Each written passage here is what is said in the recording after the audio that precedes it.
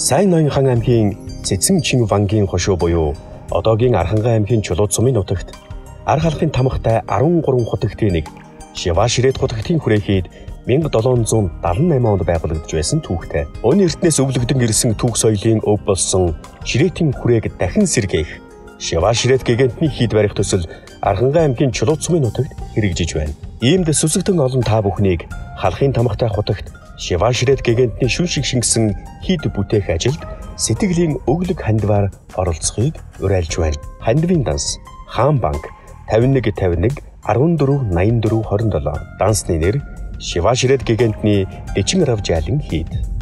Хүмүүн таны ишиг буян аривжих болтугай. Шиваширэт гигантны дэчин рав жаалин хід төслийн баг